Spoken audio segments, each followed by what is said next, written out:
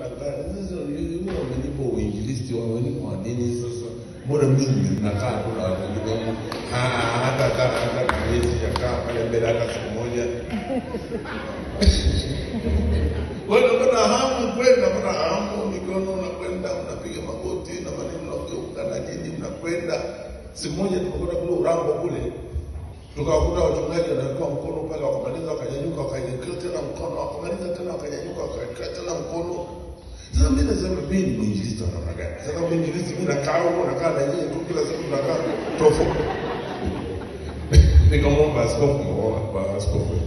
Bana, mimi naomba na mimi bwana, Nipe kanzu bwana, kwa sababu mimi nimeshaenda mbali, nimekuwa mimi mwinjilisti. Na aliyenipa mimi mwinjilisti mkuu wa kanisa. Na cheti changu kimesainiwa na watu watatu, maaskofu watatu. Wenzangu wainjilisti wote walisaidiwa na mkuu wa chuo, mimi nimesaidiwa na mchungaji na kwamba askofu watatu na kukabidhiwa hapa.